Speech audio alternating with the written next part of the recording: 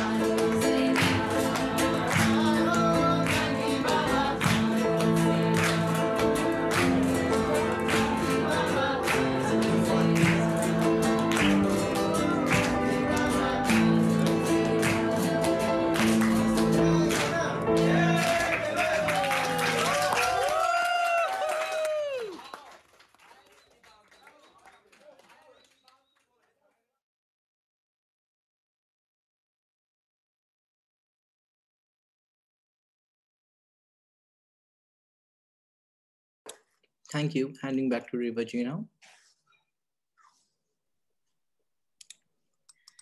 Well, good morning, everybody. Thank you for joining us today for the fifth in our series, uh, Educating for Justice Through Peace.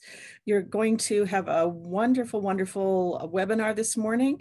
And uh, today is also the uh, first day of the season for nonviolence. So I'm going to turn it over to uh, Kathrin, who will be our host today, and please enjoy.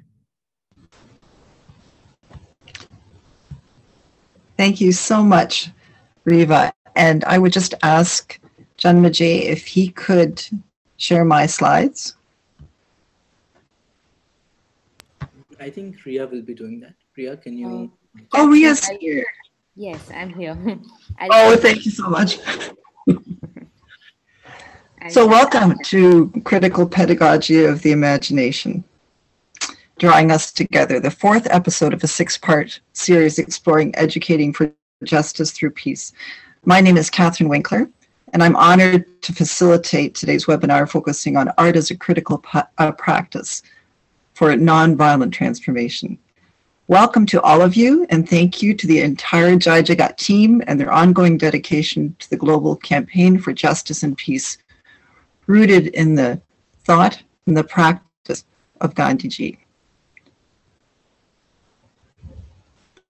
After the Global Peace March from Delhi to Geneva was suspended in Armenia, the campaign continues developing actions and conversations for justice.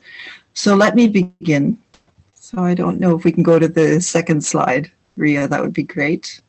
Thank you. And if the, the show is on play, then we can do one at a time. But it's lovely the way it is too. Thank you. So um, uh, Yes, so, so let me begin by expressing gratitude. These webinars are the effort of an international team of educators and activists coordinated with loving skill and determination by Dr. Riva Joshi, who you've just met, who has chaired weekly meetings. And I want to thank Anna, a student at Principal Arif Ibrahim's school in Alberta, for the artwork on the poster, for Ria, who designed it, and for all of her technical support. I'd also like to thank the Saharia artist whose painting of Ekta Parishad Satyagraha hangs behind me. These girls attended the Kasturba Gandhi Ashram School in Sheopur, Maharashtra. So the first slide, the beadwork. I'd like to acknowledge that I am in Mi'kma'ki, the ancestral and unceded territory of the Mi'kmaq people, a territory covered by the 1725 Treaties of Peace and Friendship.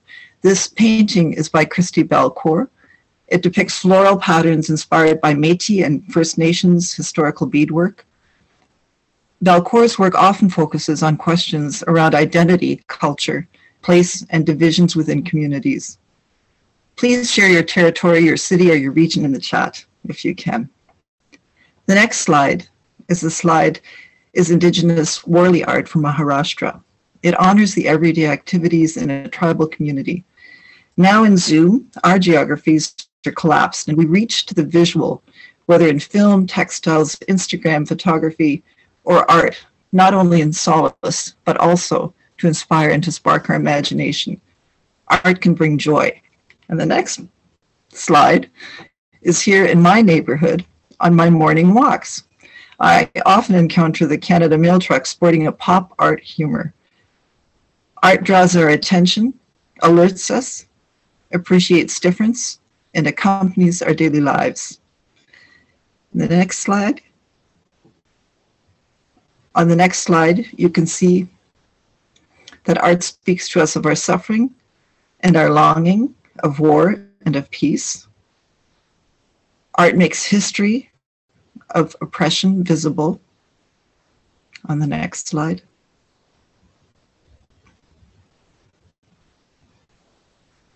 And on the next slide, Bikram's cartoon, art continues to tell the story of injustice in a universal language. The next two slides, please.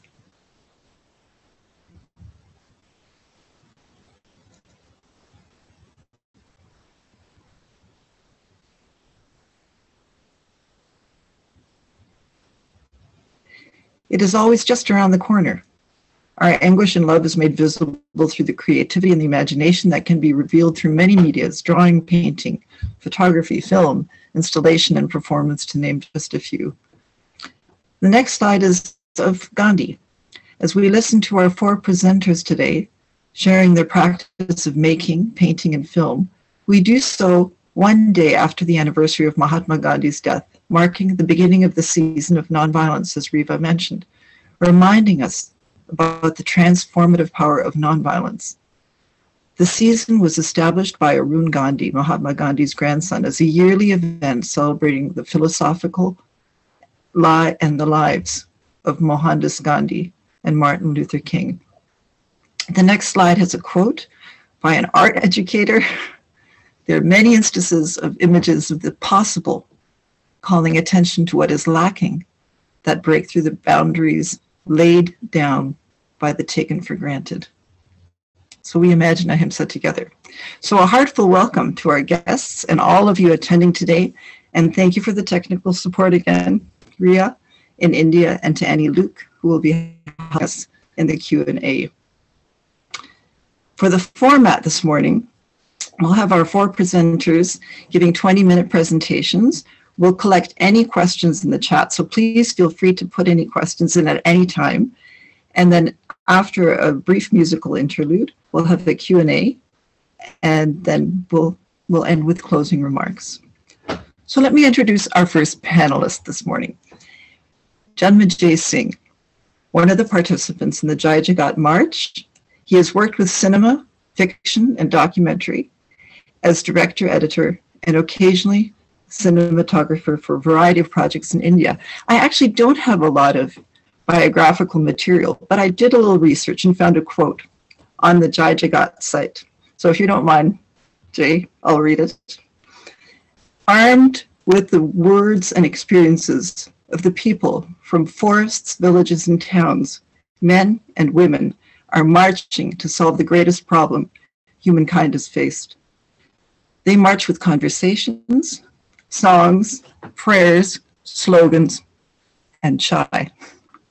The question we seek to answer to an answer to is how can we solve problems of the world without whacking each other to bits? Art exercises the muscles of our imagination to lead us to the solutions. Janmejay, please take it away. Thank you. Thank you. Um, so, yes, I think for me, as one of the Padyatris, the foot marchers of the Jai Jagat Global Peace Campaign, um, I think that has actually been my biggest exercise and project in terms of um, nonviolent filmmaking and nonviolent storytelling. I've worked with um, other nonviolent forces before. I've worked with monks, uh, Tibetan monks, and non-Tibetan Indian monks, and so on and on.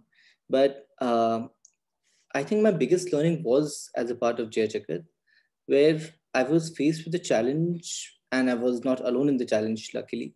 But I was faced with the challenge of trying to put together the story of a march that was going on across five, six different places at the same time.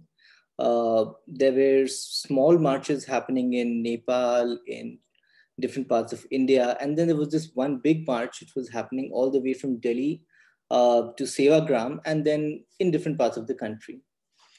And I think what I uh, understood was that to encapsulate a movement like Jai I would have to um, A, be there full time. So I requested uh, Jill Behan and she very graciously agreed to let me be a part of the march itself. And the second thing which I required was to understand how such a march works because it's the people who make these movements work.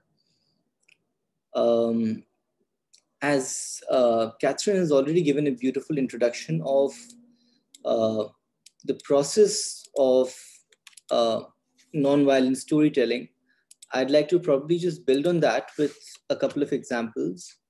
Uh, I'll do a couple of examples from uh, photos that we might be familiar with.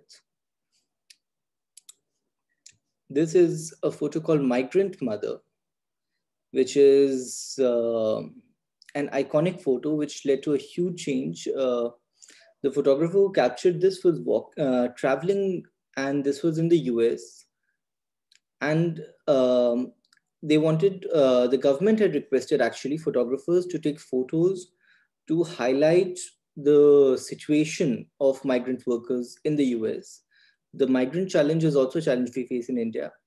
And this photo was instrumental in uh, pushing a lot of US policy towards, uh, you know, uh, identifying the people who were in need of help and to then divert that attention to them. This photo is again an iconic photo of Sharbat Gula, um, the Afghan girl, as she is well known. This photo was taken in the 90s, and this became a representative of the devastation uh, due to war in Afghanistan. These are just a couple of examples that show the impact of just one image uh, on the greater scale. Um, another example, I mean, there are lots of examples actually, but uh, another example could be the documentary An Inconvenient Truth, uh, I don't think we have time to show the trailer or anything, but uh, this documentary was made by Al Gore and it was instrumental in uh, bringing to attention the climate crisis being faced by the world.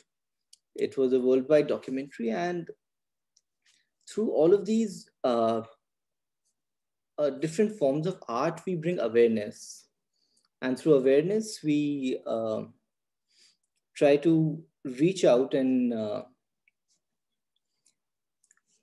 influence people in certain ways. So um, again, going back to Jai Jagat, I think what was important for me was that I was uh, learning from the people that we were marching with because I come from a decently good background. I don't have um, challenges of poverty, of uh, not having a place to live in, of having my land taken away, or uh, people trying to invade into my personal space or into my life and dignity.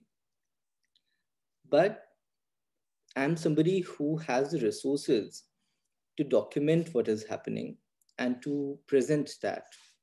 And I think through this uh, documentation and presentation, I would, uh, I've been trying to address the challenges.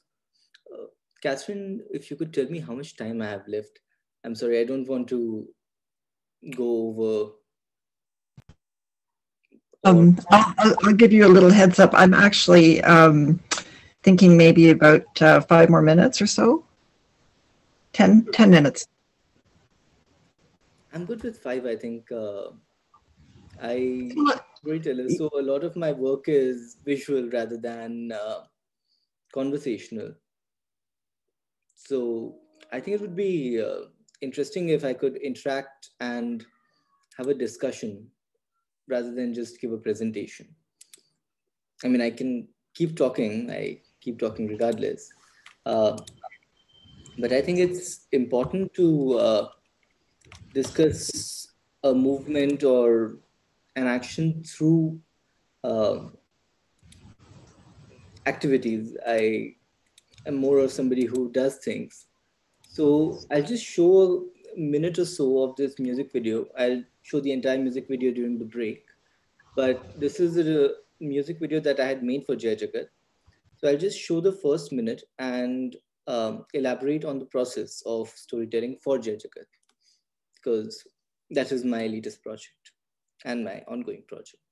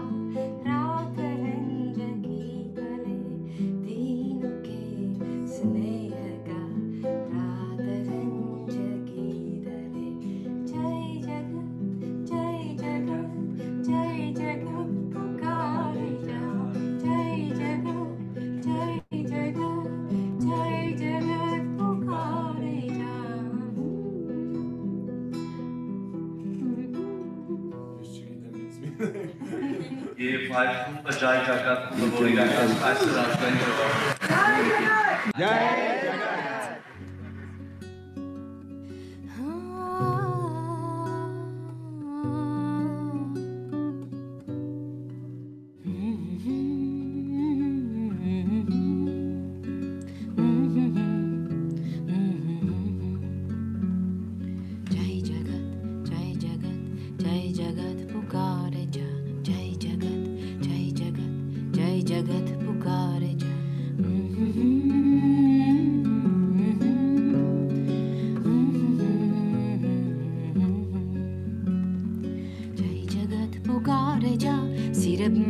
वार जा सब के हित के वास्ते अपना सुख विसार जा।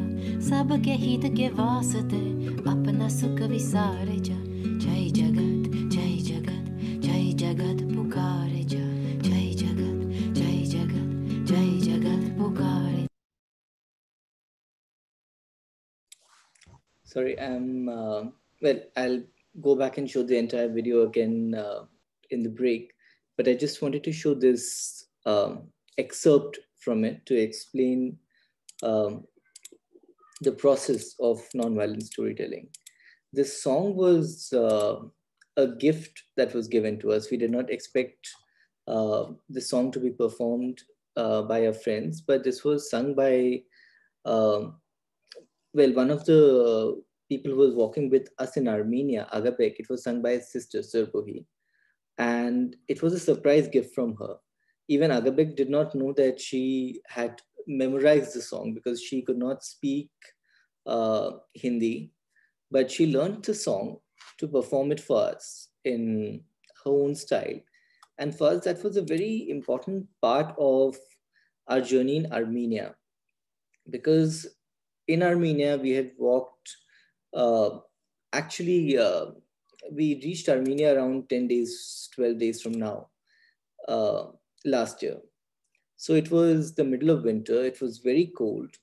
Uh, and we were walking through very uh, arid landscapes, through very small villages through uh, the temperature was constantly in negative, um, it might actually not be a very unfamiliar weather for our friends in Canada, but for our friends from the tribal villages of India, they have never seen snow. So for them suddenly to walk in the middle of this entire snow-capped mountains and um, in the middle of snowfall was a very uh, unique and a very challenging experience. So for us, it was important to document the challenges of walking, the processes of walking, and the interactions. Because um, as we would see in the second half of this music video, we interacted with a lot of people. We stayed in schools, and every day we would go and meet the kids and we were surprised by the number of people who knew about Gandhi. They knew about Mahatma Gandhi, they occasionally knew about Indira and Rajiv Gandhi. But for them, the values of nonviolence and peace is, were very important and they were ingrained.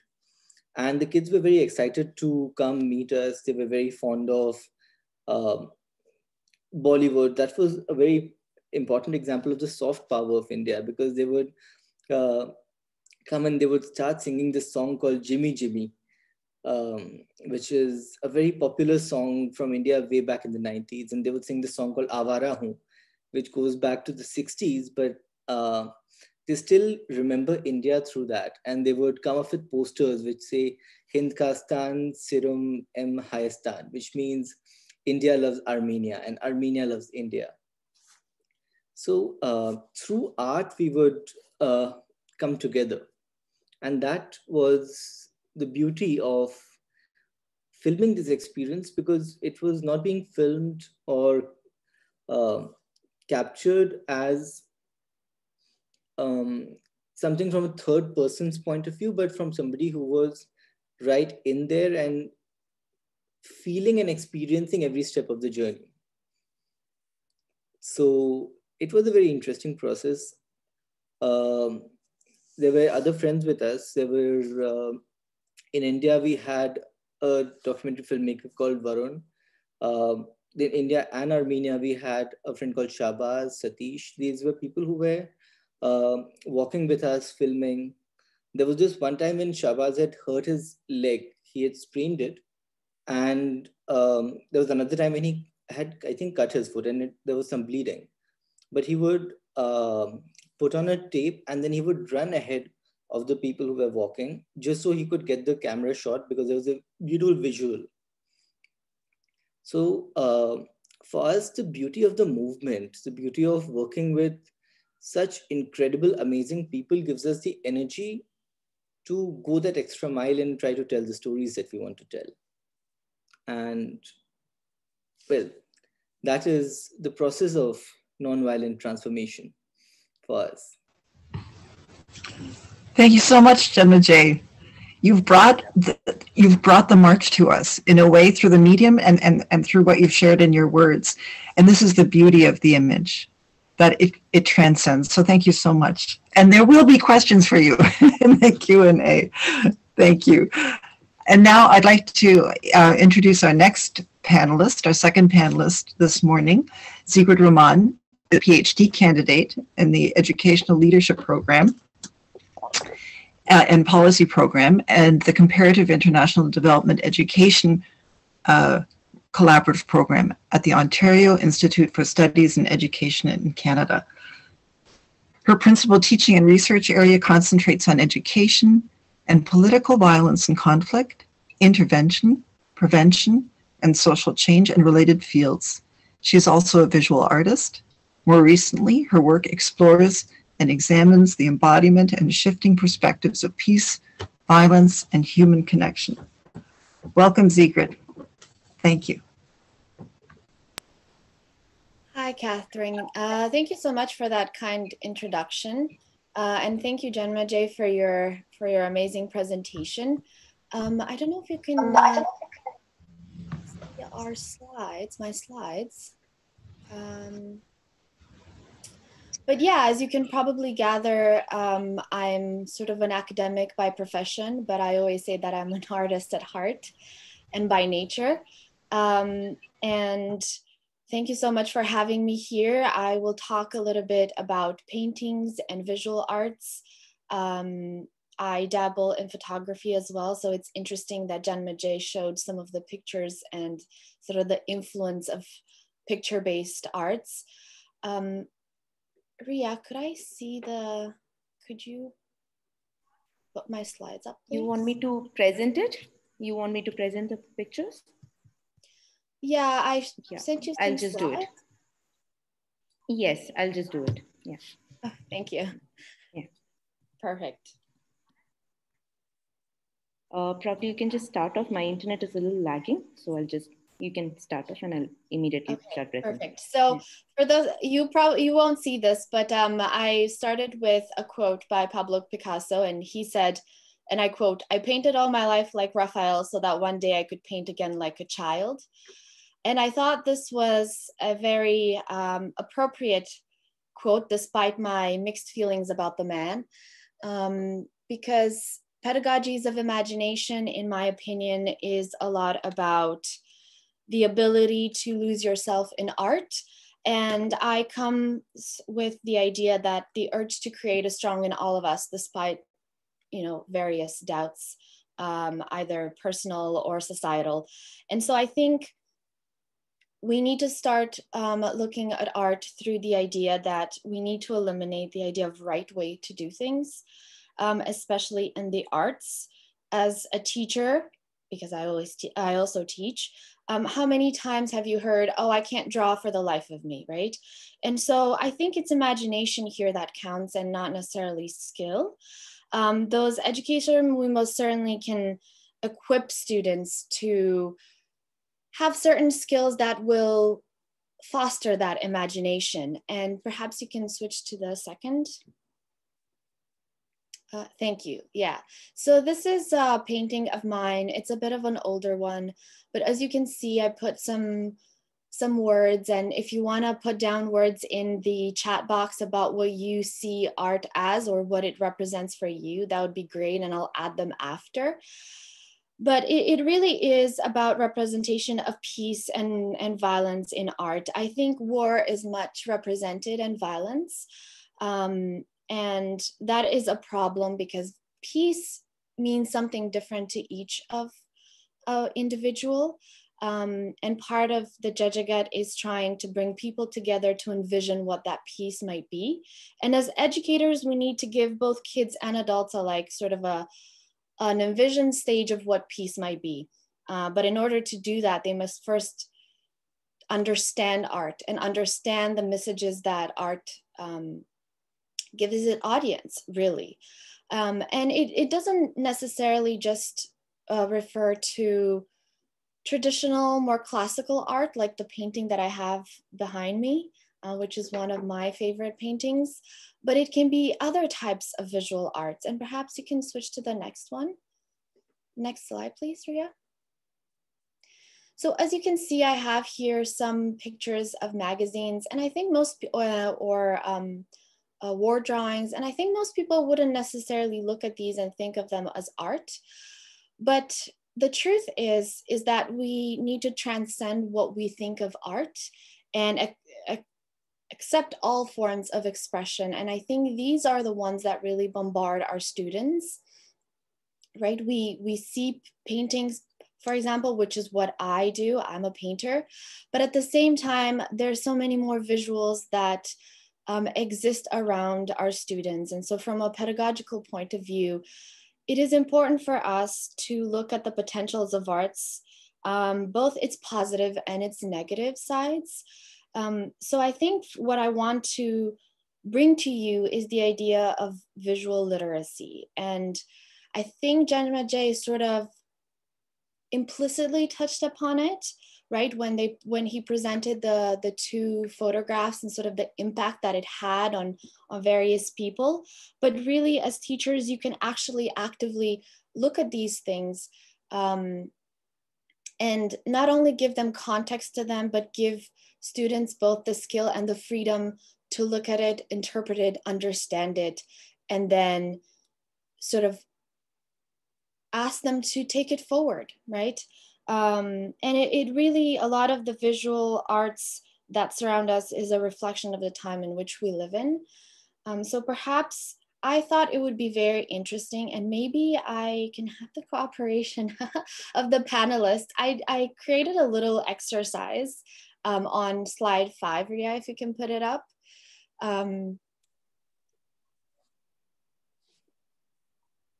on deconstructing art.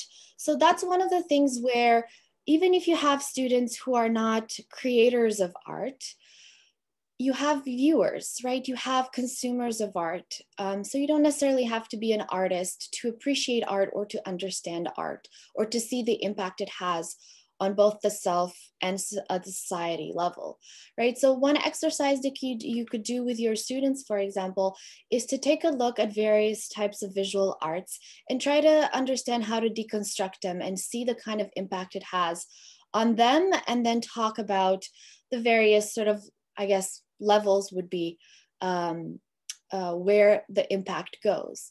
So I have a couple of, of prompts, right? Like, for example, if you look at the picture of the New York Times Magazine, which was sort of released um, last year, actually, I think it was October, if I'm not mistaken, it writes there.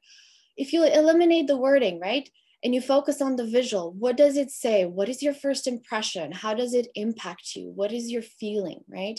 Where does your gaze go, right? If you uh, hide uh, the words, what stands out to you and what is the message that it, it is trying to say? And how do the words play off off the visual right? Um have you seen this type of iconography before right? Like you have the the cars for example you have certain colors how do you accentuate them? And in a sense this is also part of sort of media deconstruction, but it is so closely intertwined with art and art baits because visuals, you know, a picture is worth a thousand words. Um, so really looking at art from a critical point of view um, and not just a critical, but also from an emotional point of view, right? Because art has a very a powerful impact, whether negative or positive. So I thought perhaps we could do like a two, three minutes if anyone or any of the panelists would like to comment on the picture using the prompts. And then we can have a larger conversation in the Q&A or if you have any questions. And then once we talk a little bit about that, I can talk about nurturing some of the artistic practices, so more geared towards both viewers, but also um, students who want to be creators of art.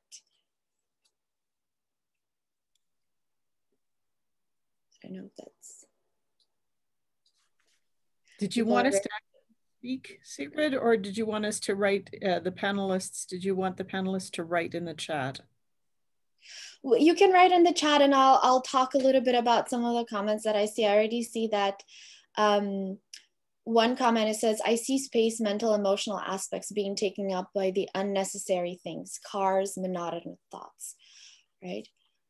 I think about overpopulation right? So a lot of the the it seems to me that the gaze does go to, towards the cars for example right? And sort of the clutterness of the cars. And to give you a little context um chaos claustrophobia right my eyes follow up and down and over and over again um, and it's true but and if as a teacher or as an educator um, you may be a teacher to K to 12 or as an educator towards adults. It really doesn't matter. I think both kids and adults need um, more visual literacy um, because I think it's sort of, I would say, people think it is automatic that you understand the artwork and the visuals that surround you, but that's not necessarily true. Um, yeah and so i think all the space has been preoccupied. So it, there does seem to be a focus on the fact that it's very cluttered right? And so the context of this picture for example in particular is that um, this is after covid hit and the unemployment went up. So the cars were not on the streets anymore. They were parked because people lost their jobs and were at home right and so what does new york times really want to say to us it says well we're together, right? And that is just my interpretation. So I think one of, again, to sort of circle it back to my main point, it was that we cannot um, limit ourselves into how we think about art. And we can be both creators as well as consumers or viewers of art. Um, but at the basis of all of that is an understanding of art and arts based um, visuals right? And the elimination of the idea of right. But there is an idea of looking at the messages that art are trying to say, whether consciously or unconsciously, implicit or explicit, right? And some of the things that I wanted to give you guys, because it is sort of a pedagogy of imagination, so it is geared towards uh, teachers or educators who might want to do this with their students, is some ideas of how you can nurture artistic practices. Um, myself, I've I've done art for as long as I've remembered, but I've never really uh, been a student of art. Like I've never taken up art in school, uh, which is interesting in itself, I think, because it took me a long time to come to the point where I even consider myself an artist. Um, but there are some artistic practices that any student can take up, whether they are ultimately a creator of art or not. For example, you can notice how you respond to art, right? You can have a class on looking at various um, arts-based stuff. For example, there you could take a look at um, classical paintings and understand, for example, the male gaze and how women are depicted in, in paintings. Or you can take a look at, as I said, some of the magazines that people and students see all the time and deconstruct them and try to understand what they mean and what the message is. You can have a conversation with a piece of art or an artist that you admire, and you can look at the context in which the artist uh, has created. You can get your hands dirty, and I think this is very important. Um, to get your hands dirty, put your hands into the paint, put your hands into a sculpture. Uh, you can draw your emotion, right? So art is both it can both be damaging but it can also be healing and so i think the power of art comes with um, using art to create a nonviolent uh, self and in turn a nonviolent uh, community and global community you can do narrative storyboards and look at how stories can be depicted in pictures or how are depicted in pictures, right? And I think I'll leave off with the main point, which is to say that um, art is more than the traditional classical, which I absolutely love. Um, don't get me wrong, that's not something that I want to put down. I'm a painter myself, but it can take many forms. It can be a design, it can be a magazine, paintings, film, photography, labels, logos, uh, book covers, album covers, the picture that you drew on a napkin. Um, and so expanding the idea of what, what art is and how you can interact with art should be, in my opinion, as both a painter, as an educator, as a uh, academic, it should be at the basis of everything because it is such a powerful way of expression and it is such an ubiquitous, all over place art. Um, thank you so much for that. And I'll, I'll leave it here because there's a lot to talk about. But I, just as Janmejay said, I think I would prefer if we had a more conversational, collaborative, interactive um, session. What a great idea. Thank you, Sigrid. Thank you so much. All these ideas are popping up just from going through that experience of your presentation, reaching deeper, going below the surface. And when you see those cars, what messages are we getting? Thank you so much. And we'll get back to you in the Q&A. so now, thank you. And uh, now we're moving along to our, our third presentation, and I believe that you may need a scrap of paper or two, or some, or a pen. And um, if you would like to do the activity, uh, I think there is a, a moment where you can uh, have your status changed to panelist. So if you put your hand up in chat, I want to participate. We'll take the first 10 because I think this is a webinar format Anyway, it has to do with the format, but let me get back to the introduction. Our third panelist is artist Alejandra Barahona, known as Bara. Bara is an active artist, illustrator, and edu educator coming to us today from Guatemala. She specializes in characters inspired by her daily life and paints subjects that address questions regarding social interests, philosophy, and human behavior. Bara is the founder of El Nido Art Studio exhibits her work around the globe and has an amazing number of followers on Facebook, including me now. her workshop her workshops focus on women's empowerment through art.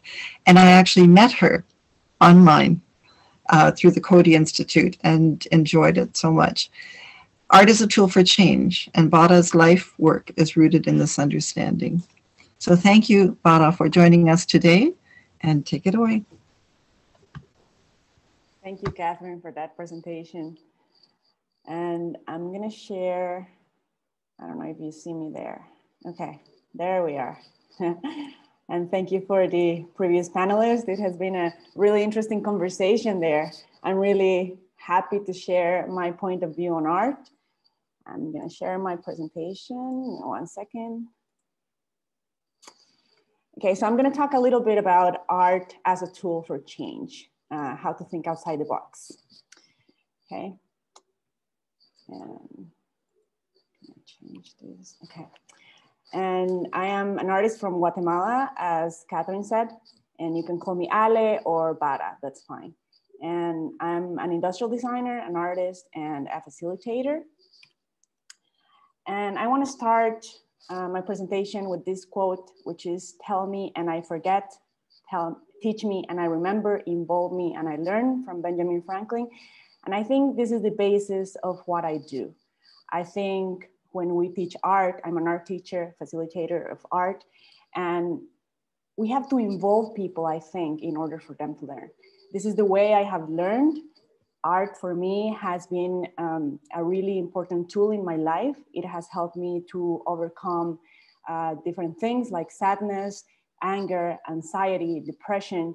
And I want people to experience this as I have experienced it in my life. So I started uh, doing a series of workshops, designing workshops that can help people. So art for change. For me, art um, in my workshops, I teach how to overcome these things.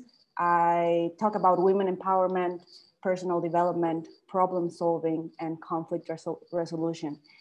And we have always been taught that art is subjective, right? That it depends on the viewer, it depends on your experience. And I think life is the same way. Life is subjective, and they sometimes don't teach us this thing. They don't say life uh, is, you should see life your way. You know, everybody has a different way of seeing life. And I think art can teach us this. So we're gonna start uh, a little hands-on here. So if you have a little piece of paper, we're gonna start with the activities. The first activity I have um, is from concrete to abstract. And I'm gonna leave the presentation so you can see what I'm doing. So if you have a little piece of paper, you know, we're gonna cut. I hope you all have it there. I'm gonna start because I don't see you guys. So we're just gonna fold it so we have a little like long side. We're gonna cut it, okay? On the long side. Yes. If you have scissors, you can do it with scissors. If not, just uh, cut it with your hands. We don't need it to be perfect. Ale, do you want the, the other uh, participants to have their video on or off, or will you cue us when you want the videos on? Uh, yeah, it's however you want it. If uh, you want to see all the works from the participants, we can do that. If not, it's fine. It would be nice to see what everybody's doing though, so. What do you want? Okay, we're gonna fold this in three parts, like a trifold, okay? In three parts. It doesn't matter if they're the same size, just fold it in three. We have three parts, okay? Three parts. And then we're gonna fold it again, one part to the center, the other part to the center again. So I'm gonna do it again, open it, fold it in three, one, the other side, two, then again, one, and then two. So we're left with a little square, okay? Fold it in the middle. I'm gonna show you my screen now, okay? So we're gonna, what we're gonna do now, you're, we're gonna draw something in the middle. Whatever you want, it has to be something concrete, like a tree, like a car, an animal, whatever you want. And it has to be in the middle so it passes both sides. So I'm gonna draw like a little rabbit here. And do some details. If you're doing an animal, maybe do the eyes, do the mouth, you know, the tail, doing a little rabbit there. So I have my rabbit. And, you know, it's gonna be in the middle. Try to pass it through the middle. So when we open it, you know, it's in both sides. Okay. So something concrete, whatever you want, however you can draw, everybody can draw. So if you only can draw stick figures, just do stick figure, that's fine. No problem. Okay? Yeah, perfect, Kathrin. Good. Good. okay. Yeah. Yeah, I'm liking what I'm seeing. Yes, something concrete there. Good. Now, when you have it there, we're gonna open it. Okay? We're gonna have one side, you know, one part in one side, the other part in the other side. Okay, good. So what is this teaching us, you know? When we have something concrete, this is like life. Sometimes we have a problem, sometimes we have a goal, and we see our goal and we see our problem in a certain way. But when we start addressing it, things are not as they seem, you know? Sometimes the problem uh, needs a different solution. So what do we want here? Now we're gonna go to the abstract. Okay, we had something concrete, like a problem, like a goal, and then now we have, we, we're gonna do something abstract. So what we're, gonna do is, we still wanna get from the top to the bottom. These parts are separate now. So our roads sometimes are gonna be longer. Sometimes we're gonna need, you know, to draw different lines to get from the beginning to the end.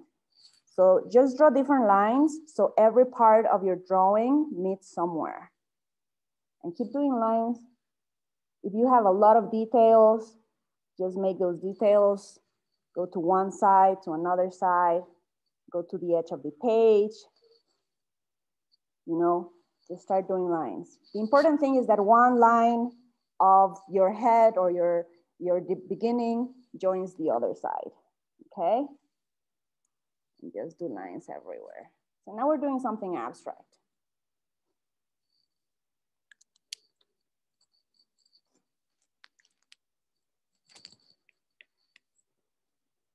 So we arrive, you know, to something really different from where we started. And this is the same as life. When we have a goal, we have a problem.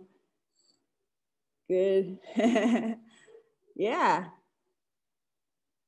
Yeah, very good.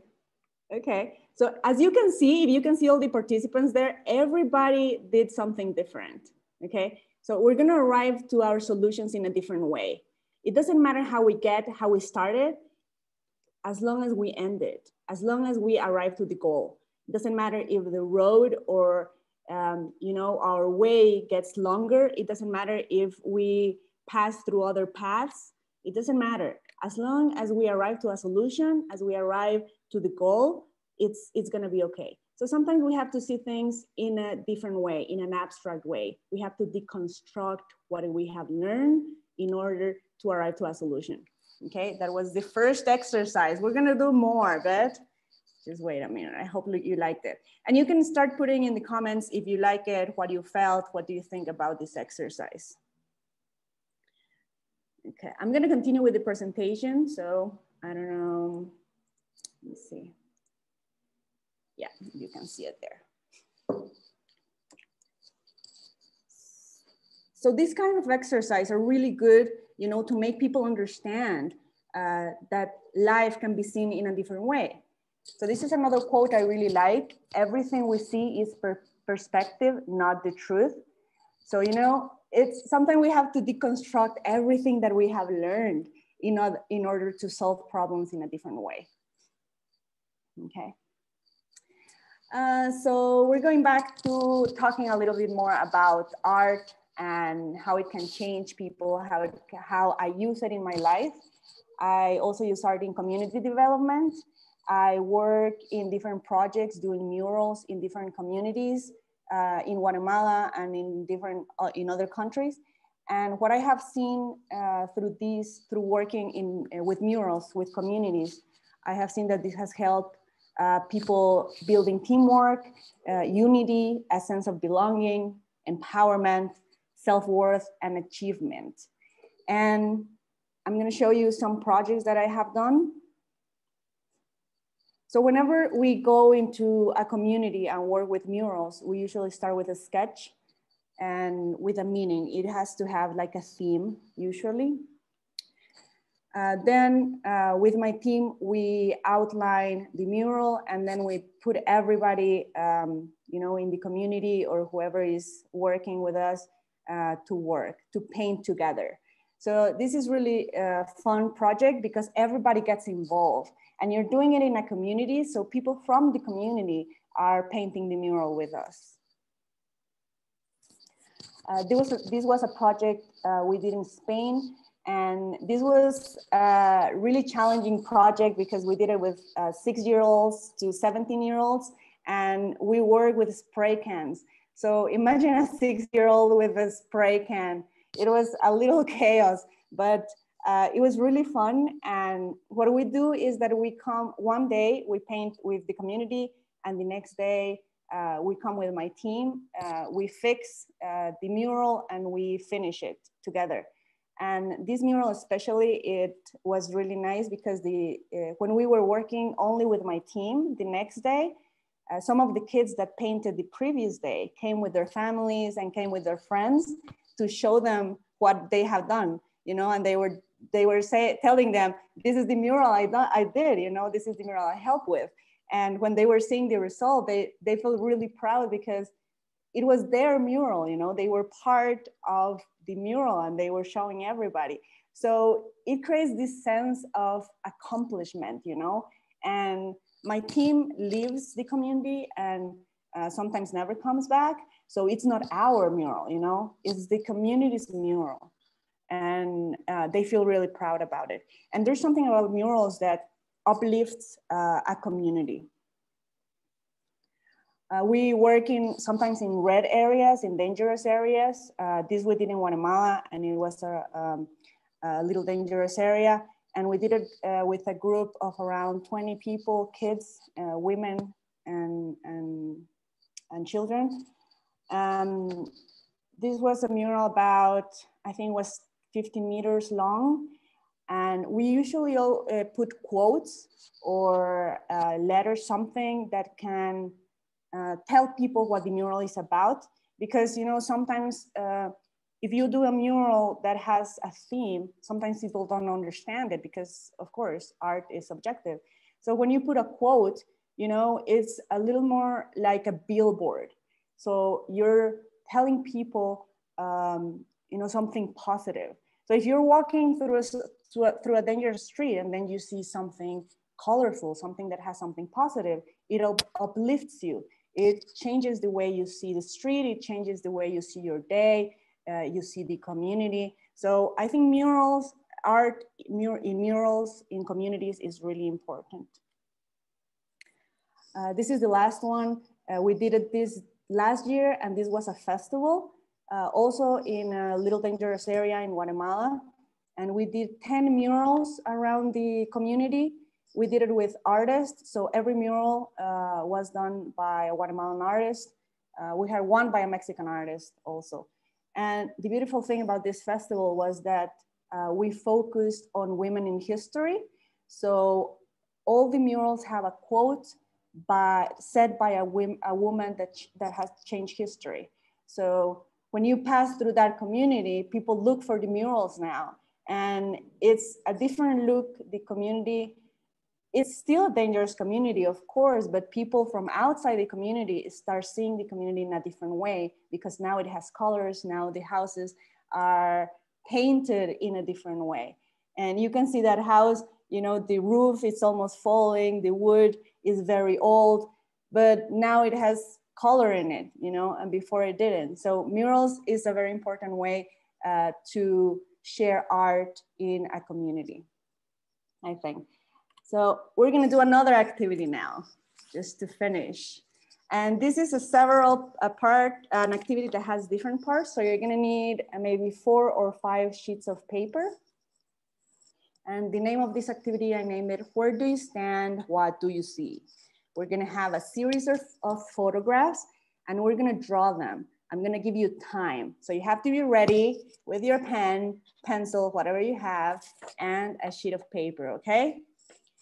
And I'm gonna put a photo. And for the first photo, we're gonna have five seconds. Okay, so you have to do it fast. And let me put my timer. So be ready, because this is just five seconds really fast one. Okay. If you're ready, I'm gonna put the photo and the timer. Hope you're ready. This is the first photo. Start drawing now.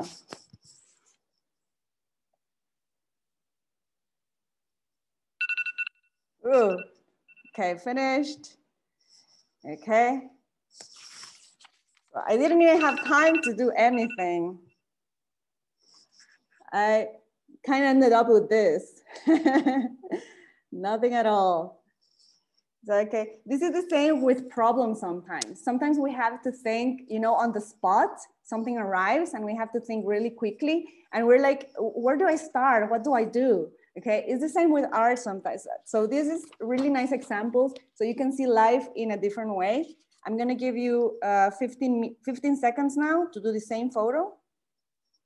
And it's really nice to see um, a really good tip to draw these photos, if we can draw them, if we have to draw them fast, is to see the big picture first.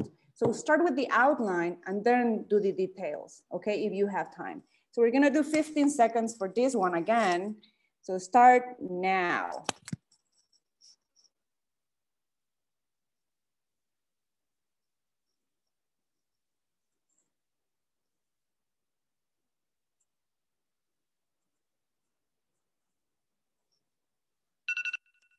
Time.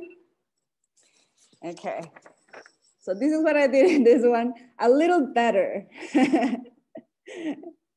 Good, Janmejay. I can see Ravas also. I can see Kathrin's. Oh, Catherine, you, you were fast.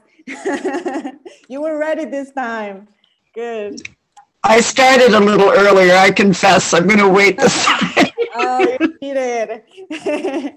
okay.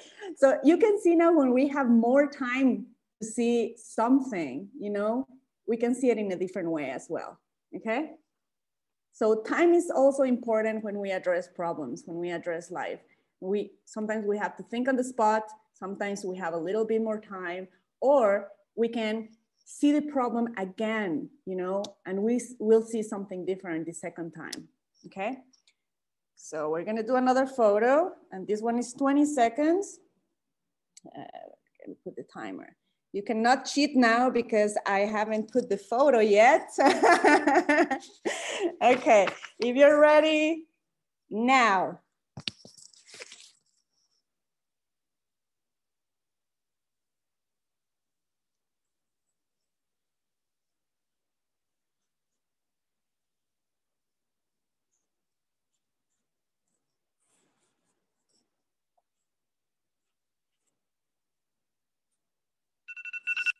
Time. Okay. So we could do a little bit more. good. Very good, Yamumi. Yeah. So when we have a little bit more time, we can do a little bit more, right? We can see more things. Gonna do the next one is gonna be I'm gonna give you 40 seconds now. And this one is an easier photo. So we start now.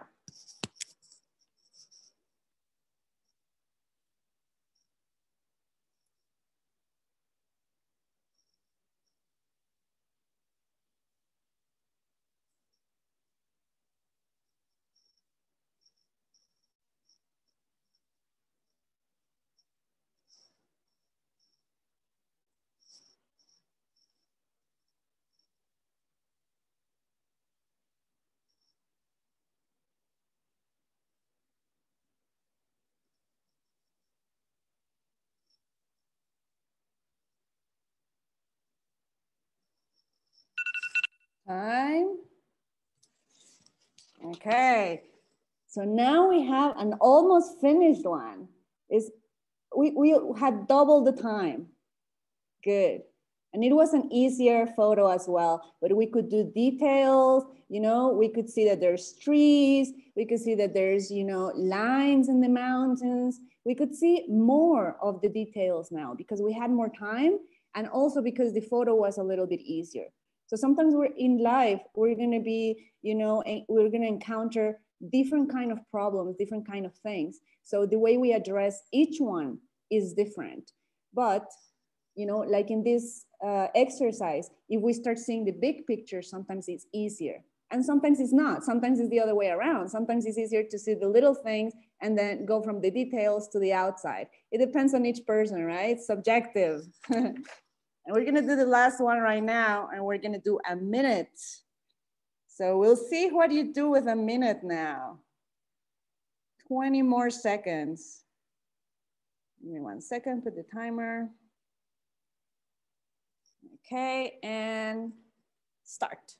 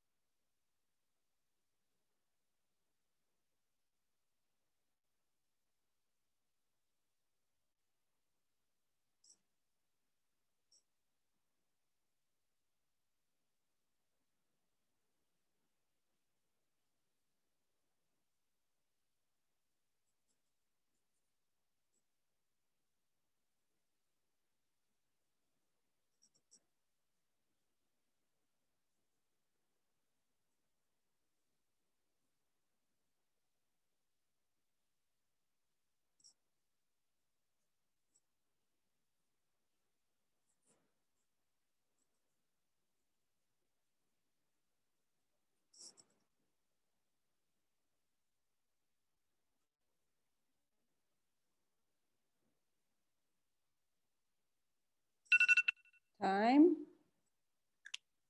Okay, and I have this one. Good. oh, I like yours, Kathrin. Very nice. Very nice.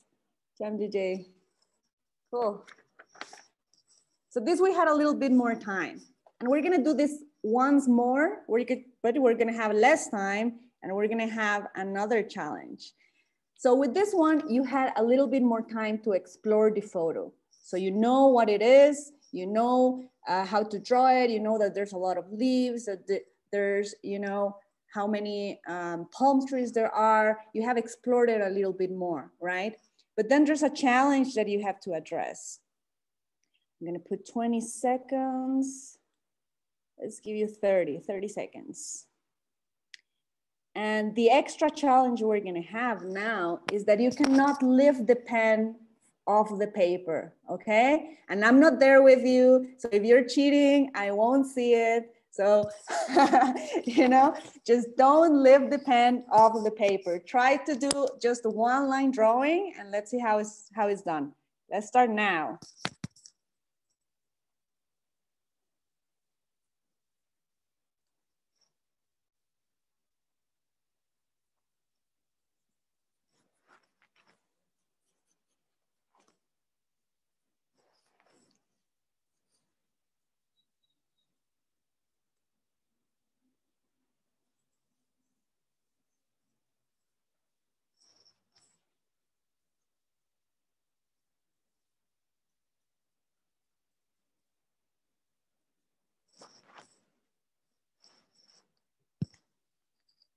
Time. Okay, my timer didn't sound, but it was time. Good.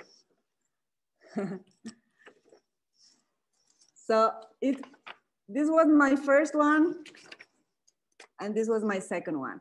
So because I saw it first, you know, because we did it the first time and we had one minute to explore how it was, the second time that we came, just a little challenge, a little different, we could draw a little faster as well, okay? So sometimes, you know, we, we're gonna address the problem twice or three times or four times, but with a little change. So the way we address things, the way we address problems in our life is kind of the way we can address, we address art, you know, is we just have to see it in a different way. So I'm gonna end um, my presentation with this quote that has to do with this exercise that we just did. So if you change the way you look at things, the things you look at change. Okay. So just step out, you know, step out of where you are and see things in a different way. It's like when we um, when we're seeing something, we're seeing a tree, and there's like three people around the tree seeing the same tree, the same tree.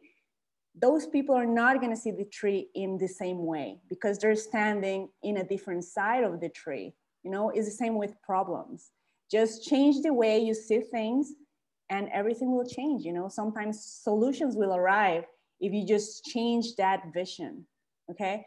And yeah that this is where i want to arrive. And if you use art as a way of helping you through life through problems or if you see uh, if you do this kind of exercise in your organizations in your family wherever you are uh, i think we can make uh, people understand that we can address problems in a different way. We can address conflict in a different way and life in a different way. Okay, and this is the way I am. So thank you very much. I hope it helped.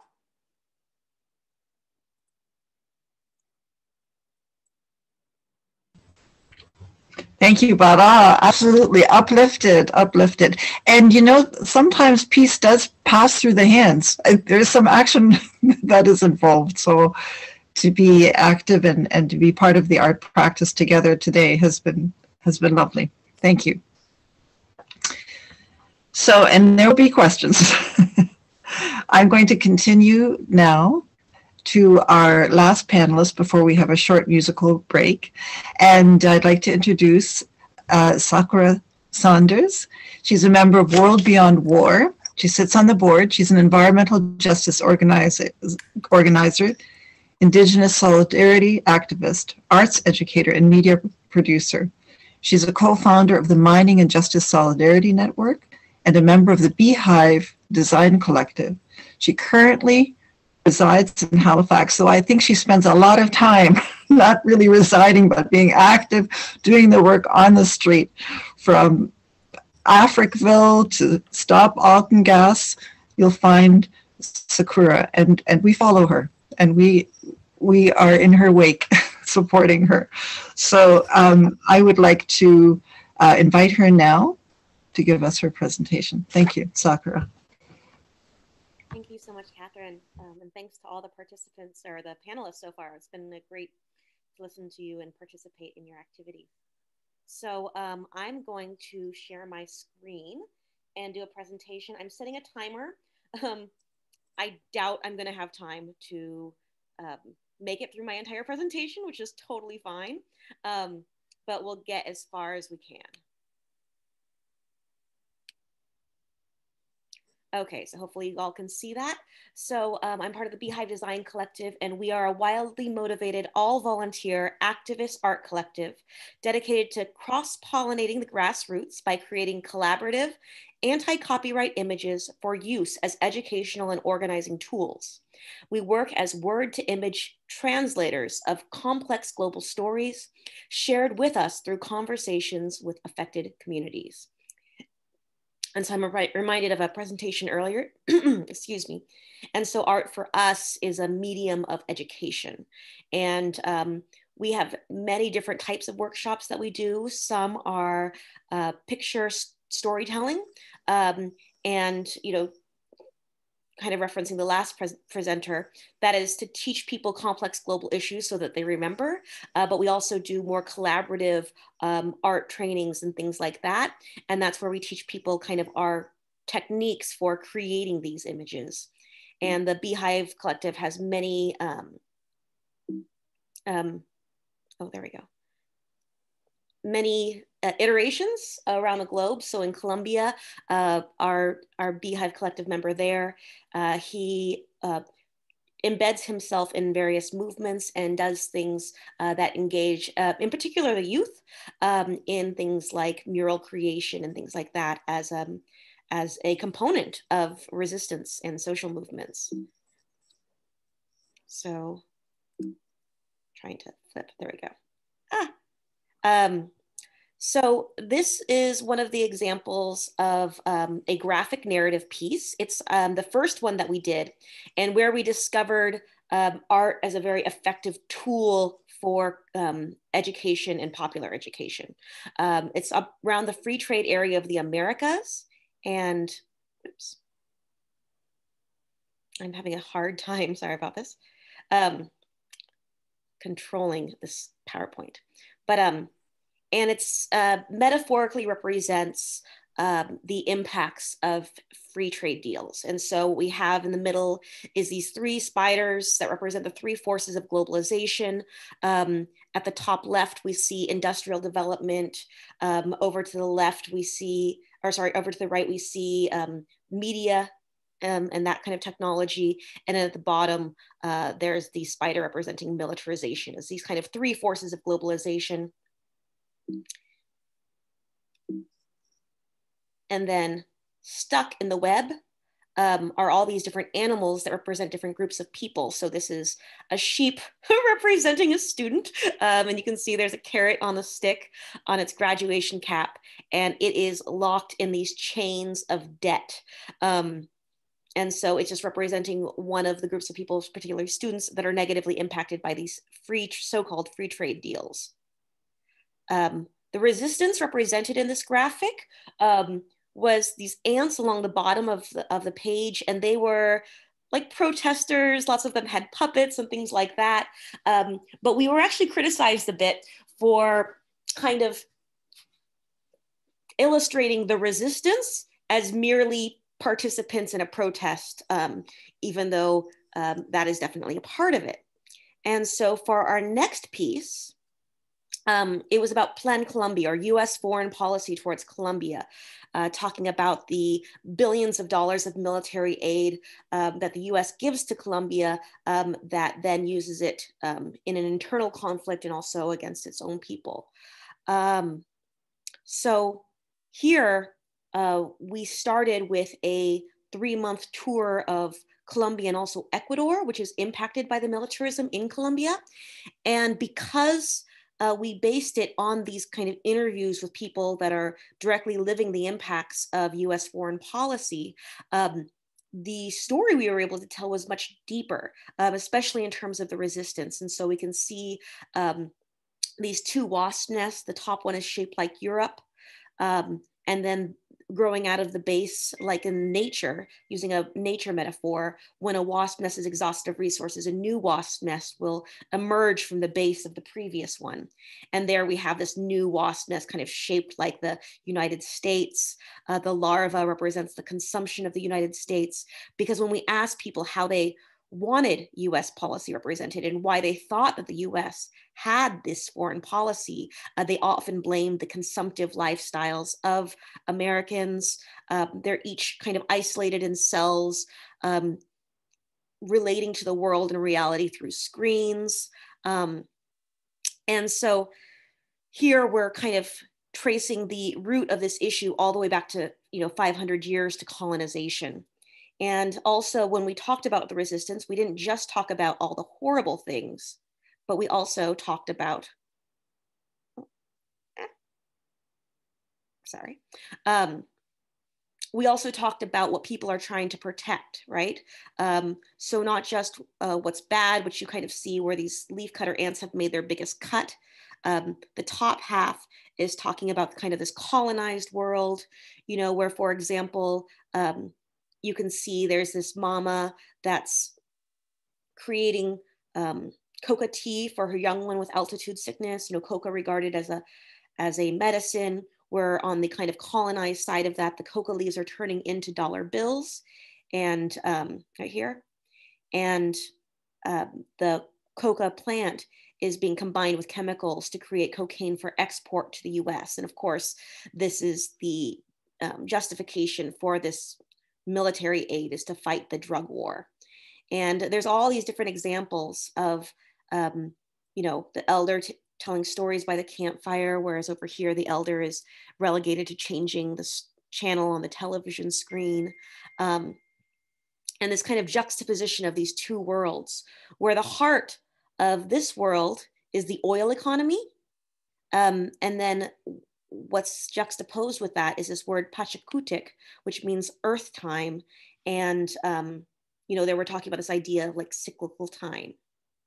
Now, the process of always starting our graphics with um, a tour um, started with Plan Colombia. And of course, we've done it for every single graphic since. And so here's some pictures from the tour that we did before doing a piece on mountaintop removal in um, Appalachia, which is um, southeastern part of the United States where there's a lot of coal mining. And so here we would show people pictures of our past graphics. And, you know, we would even ask them like, what animals would you like to represent them or plants? Um, and kind of explain our process and hear stories, uh, hear about the biology of the region. Um, and then, you know, in this case, we created a graphic that um, read like a story, like a timeline almost, uh, where we went from the creation of coal in the ancient marshlands of Appalachia up through the colonial history of the region, um, through industrialization, um, the mechanization of coal mining, the replacement of workers by machines, uh, the evolution to current day extreme extraction. Uh, we have mountaintop removal coal mining, which is um, a type of strip mining um, that wholesale destroys land uh, while employing 90% less people than the underground mines. Uh, but then we also move through different tactics of resistance. Um, and then to the final panel, which is um, the regeneration uh, phase, where we highlighted projects that are currently happening in Appalachia um, that are working to restore both the local ecology and the local economy through things like, you know, community gardens and community kitchens and and uh, um, community media projects and seed saving and um, renewable energies and things like that.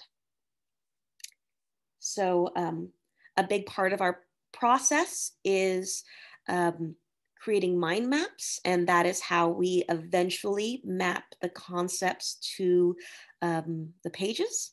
So for the previous graphic that I showed you about um, coal mining in Appalachia, Um, that was much more of a storyboard because we had a, a certain timeline to it, uh, but not all of our graphics are as straightforward. So this is a mind map uh, that we used for um, the Plan Puebla Panama project, which eventually was called Mesoamerica Resiste. And um, it is a two-sided graphic. And uh, this side is what we call a top-down view of the world. And the idea here is that from this vantage point, all you can see of Mesoamerica, which is Southern Mexico and Central America, are the large scale infrastructure projects planned for the region. Uh, dams, pipelines, highways, airports, energy grids, um, and factory zones. And its resistance to these projects was a theme of the overall piece. This project took nine years to create and started with a six month tour of the region, um, as well as uh, constant communication with the communities we were in contact with uh, during that nine year process. And um, the overall design um, is in the style of an old world map um, as an allusion to colonialism, um, but the map also served as an economic snapshot of the region where all the boats represented various exports, both historic and contemporary, you know, imports and exports. So here, for example, we have um, the sugar boat, the gold boat, and the slave boat to represent the triangular trade route that drove the colonization of the Americas. Um, you know, we have modern industries also represented here with the Canadian flag, of course, is the mining industry because um, the vast majority of the world's mining um, companies um, are headquartered in Canada. So in the four corners, we have um, different winds different storms that represent uh, systemic economic pressures acting on the region. So from the north, we had the storm cloud of militarization, pesticides, culture, um, and technology. Whereas in the south, um, we have a hurricane brewing, um, a natural disaster caused by climate change, war, economic and industrial displacement uh, is causing a wave of migration north.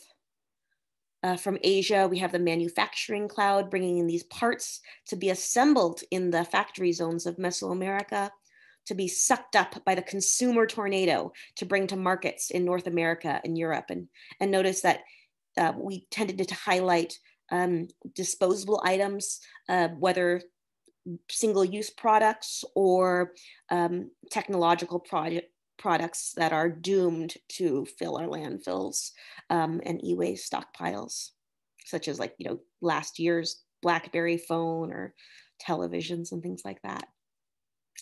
In the four corners are four different global institutions um, that enable this kind of development.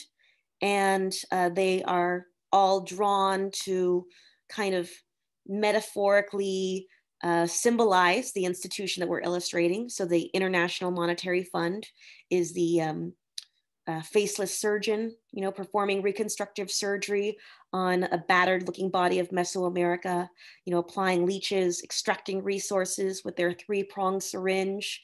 Um, you know, and, and so the IMF is of course prescribing structural adjustment um, in exchange for debt relief. And of course, this surgeon has a knot in their stethoscope to show that it is definitely not listening to the hearts of the people it's impacting on the ground in Mesoamerica. And then finally, just on the sides, we have these Mobius strips that represent vi vicious dynamics. Um, and so here we have violence against people. And then on the flip side of that, of course, is, is mass resistance. And here, this tractor um, tank trailer is kind of representing the intersection of agriculture and militarism and talking about violence against the land as well. Um, and the Trojan horse, of course, representing the Trojan horse of false solutions to climate change.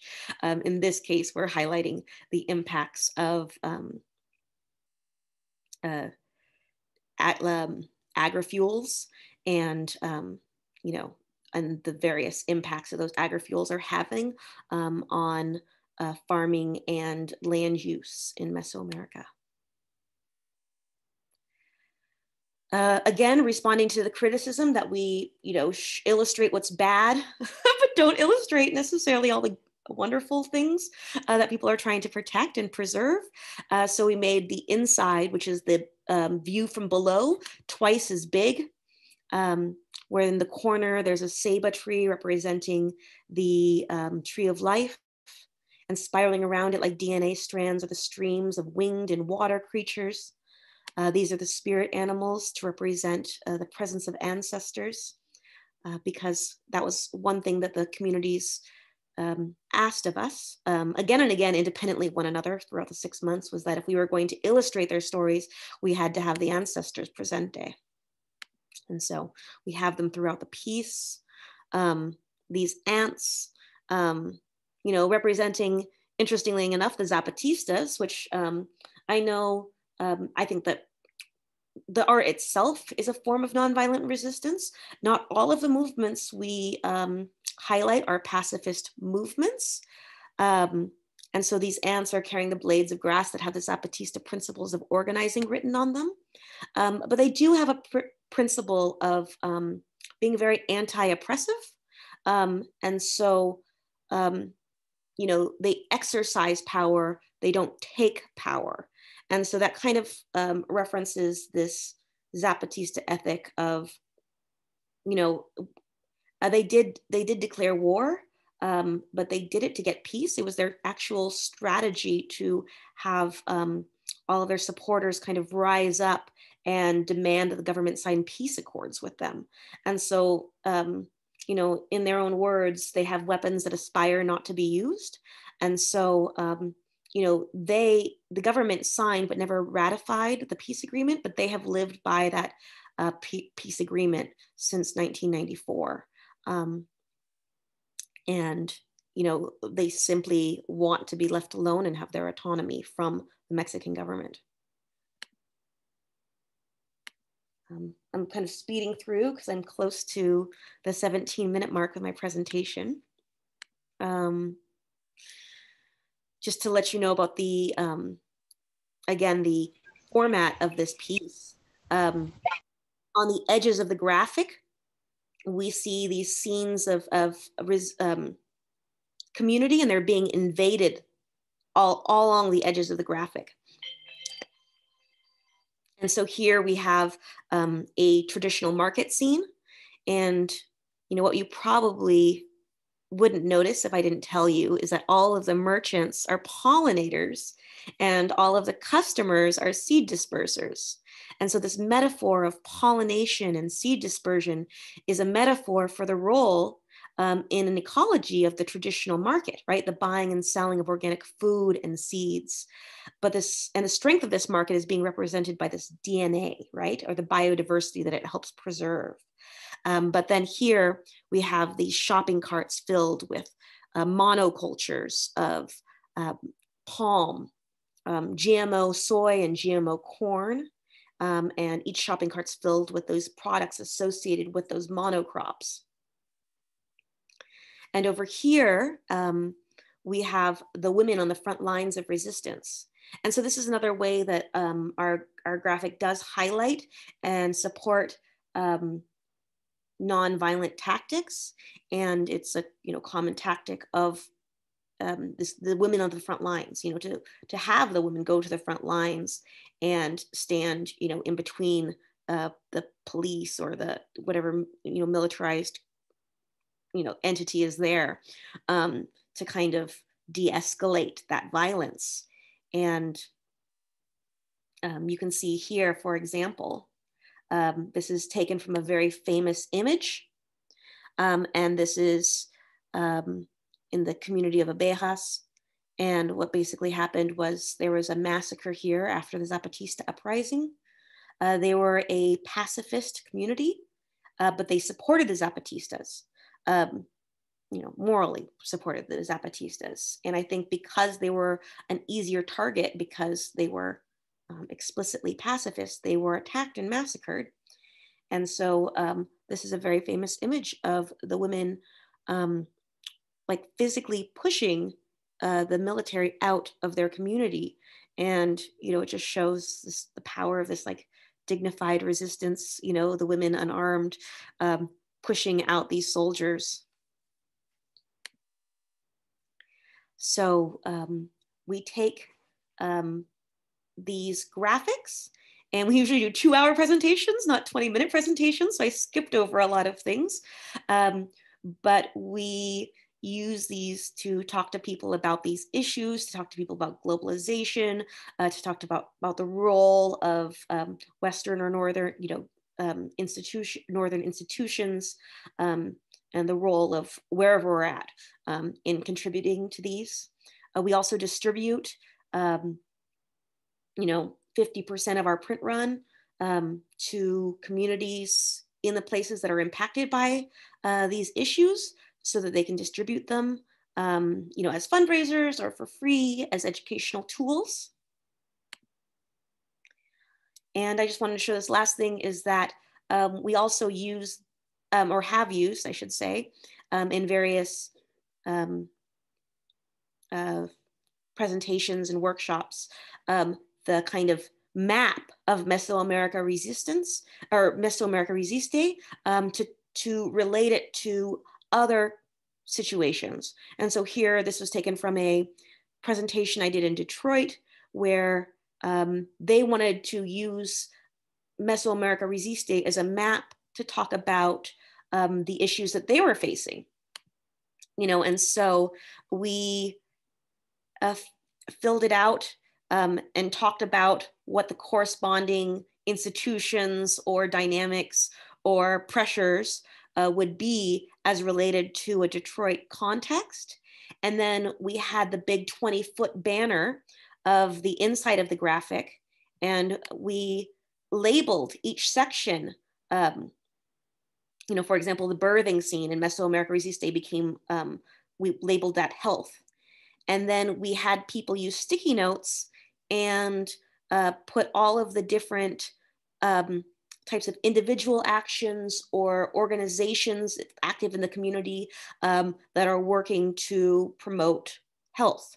Um, and so that's just one of the ways that we can use it in a more interactive way, use our artwork to engage people in understanding uh, the issues in their own communities.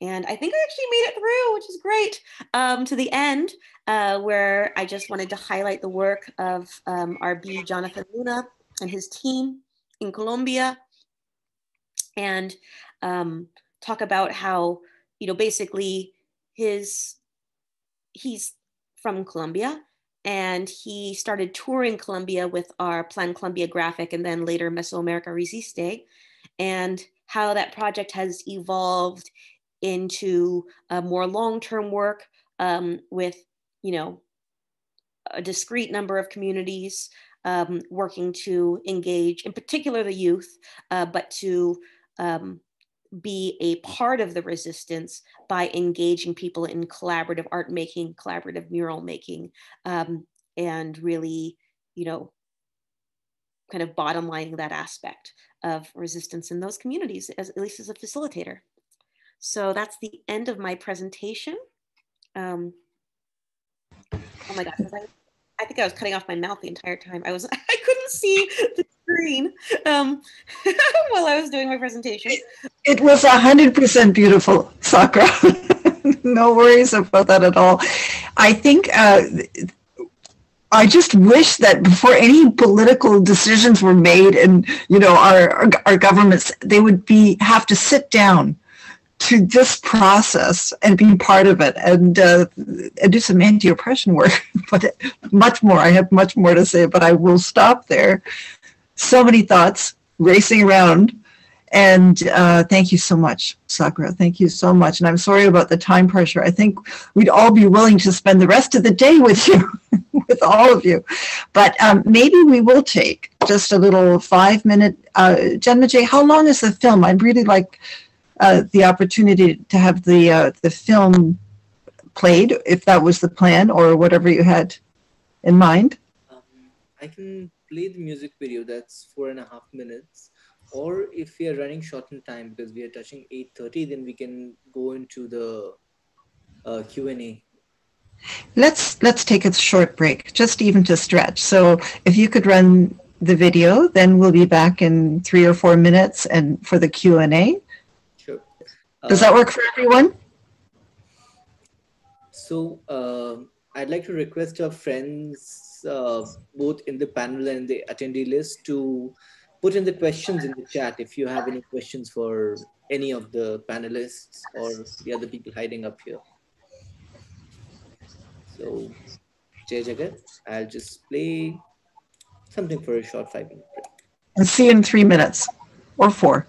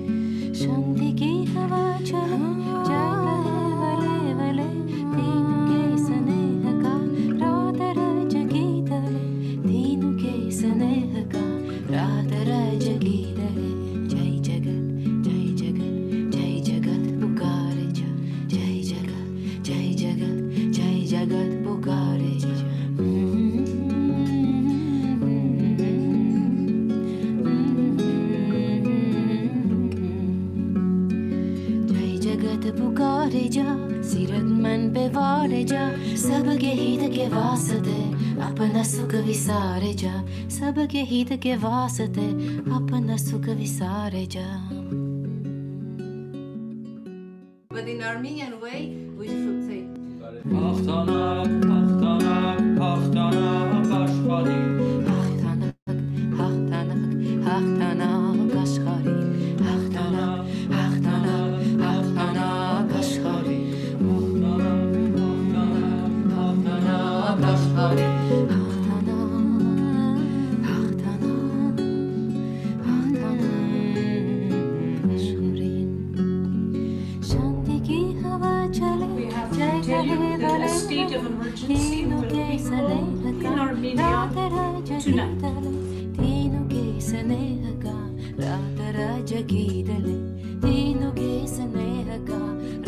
रात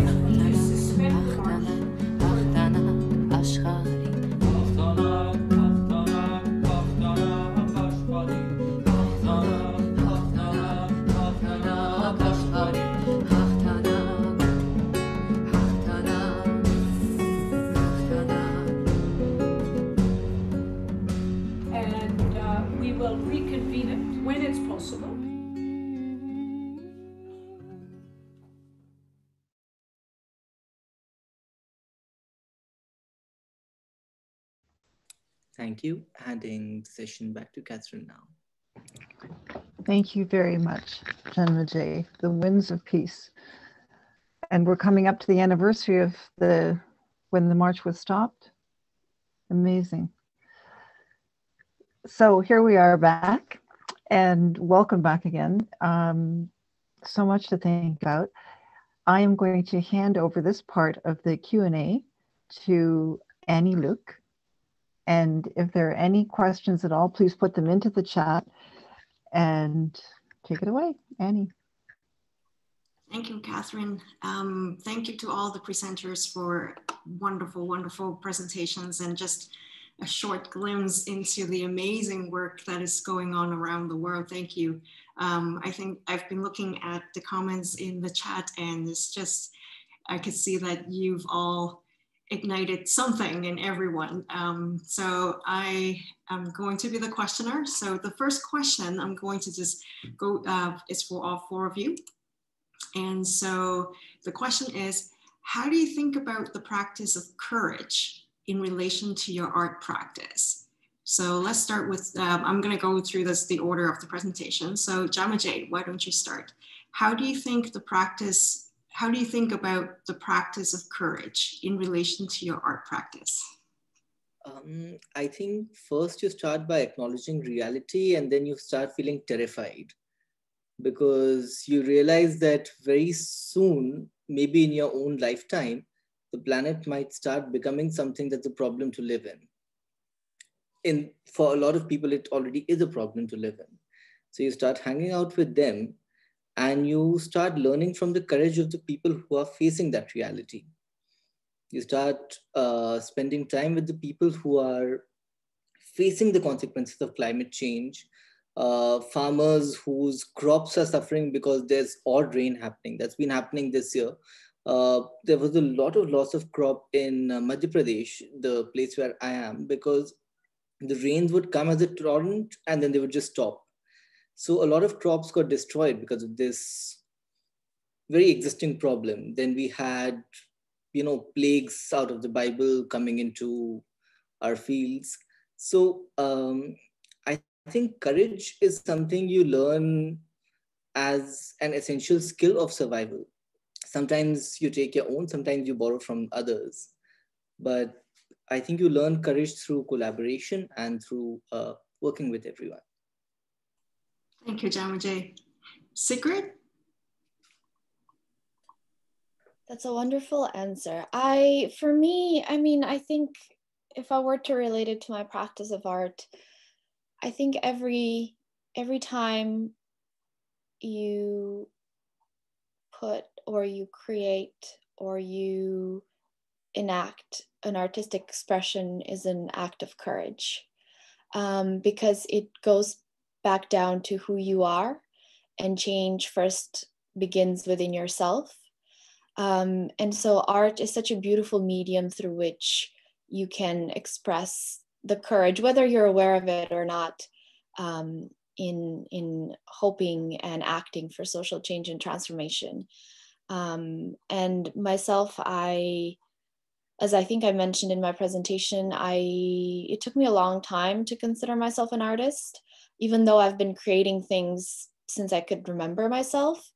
Um, but I think to take ownership of what you do and the way you think and the way you want to help um, and the way you see social change is definitely an act of courage. Um, and that sort of spills over into your community, into the people you interact with. And um, one can only hope the larger um, community, the global community. Um, but in any case, I think courage starts within the individual. And it's not in isolation, but it, it does have to you do have to take sort of ownership of of the fact that you want change um, and art to me is again is is an embodiment of that courage thank you sigrid Bara? Hey, I actually have a workshop that talks about this, not courage, but I address it through fear. We talk about fear and how to address fear. And I really like the quote that says that courage is uh, not the lack of fear, but having fear and doing things anyway. Uh, so in this workshop uh, with my students, you know, I have students that think that they cannot draw, or I get students sometimes that they think they are too old to start um, drawing or painting. And we address this, you know, we address fears, how uh, through art, uh, you can see that uh, you can do anything, you know, you just have to take the first step. So taking the first step is the beginning, you know, you have to be courageous for that. So yeah, that, that's how I address it. Thanks, Bara. Sakura. Yes, well, I mean, first I have to, you know, agree with what's already been said, you know, um, especially about like, you know, just being inspired by the courage of others and be, that being a huge inspiration for us in terms of the communities that, you know, we are representing their stories. And, um, uh, but I would say that, yeah, anytime that you put yourself out there, it takes a lot of courage. And, um, you know, our, our group is actually, I would say only 50% uh, people who self-identify as artists. Um, so a lot of people in the group are educators, storytellers, activists, organizers, you know. Um, and so there's a bit of, and we and we do the artwork anonymously, so we don't say who drew what. Um, and that can create some uh, a little bit of imposter syndrome, I guess, in some people, especially like the newer bees that are doing these presentations. And also, you know, anytime like an active, any activist, you know, you're going to be attacked for putting your views out there. It just like comes with the territory, um, you know, from your own people eh, as well as from the right. And so we just really try to approach it with humility and, you know, kind of thanking people who have criticized our art um, and trying to kind of incorporate the criticisms into our presentation um, to show how we've addressed them. Um, you know, we never present ourselves as the experts on anything. Uh, we really try to, you know, um, with every graphic, ask the audience to participate or to interpret it um, as well, which is why the presentations last, you know, two hours as opposed to 20 minutes. But, um, you know, so we try to kind of, uh, you know, I guess a way of dealing with with the fear related to putting yourself out there is just to approach it with humility. And this is my kid, so I'm gonna mute myself, and that's the end of my question answer. Thanks, Sakura. That's fantastic. It's all sharing the stage with everybody else, right? Um, so the next questions, um, I have one question for each of the panelists or each of the presenters. So Janmejay, I'm gonna start with you first. Um, can you talk about how your art has affected your experience as a marcher? Um, and also how has your experience as a marcher affected your art? Mm, sure. So I think, um, for one, I have been humbled uh, by the process of being given the opportunity to tell the story of all these amazing people. Because uh, the beauty of working with you know, a Gandhian organization like Jai Jagat, uh, is that you encounter people that you admire intensely. And working with them, spending time with them makes you realize that uh, A, it opens up your mind quite a bit. So that transforms you.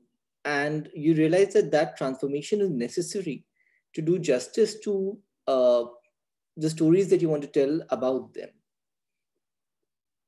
So the art and the artist need to be at the same wavelength of sorts. So I think that has been uh, one of the key things. The other thing I realized is the value of internal and external transformation. So like while we were marching, we would have prayers in the evening every day. And we would have Rajaji who would come and start the prayer and everybody else would join in and when he was not there you know somebody or the other would just start the prayer in the evening. And you realize that uh, in that time you build this community and you start trusting these people implicitly. So that's the beauty of a give and take relationship in this sort of a, you know creation of art and being a part of the creation itself. Thanks Janmejay. um Sigrid the question for you is, what do you see as the difference between creating art and observing art as a connection to peace? That's a good question. I think, Well, first of all, even people who create art will observe art. Um, so looking at art and um, just sort of, I guess, observing observing art is is intrinsic to all of us, whether we do it um, in a conscious way or not. Especially as I mentioned in my presentation, sort of in this day and age where you're bombarded with all these sort of visuals created uh, by various people and the various messages. Um, in terms of peace, I think they both have both actions and both practices um, have potential for peace. Um, first of all, let's start with observing, which has kind of been sort of the theme of my presentation. Um, as a consumer of art and an observer of art, just the action of understanding the kind of messages that you are given um, and how you understand and react to them in itself is quite inducive to more peaceful uh, approaches, right? Um, if you uncritically absorb messages, uh, for example, of war, you wouldn't be able to necessarily distill how you can then react in a peaceful way. Um, and we know from past, uh, our dark past, that there have been things like propaganda that have been very powerful in giving those messages uh, in a way that are consumed to produce a violent um, consequence uh, consequences. As to a creative of art, uh, I do think that um, for the better of the word, the art that you put out there is not just yours. So once it's out there, it is everyone's.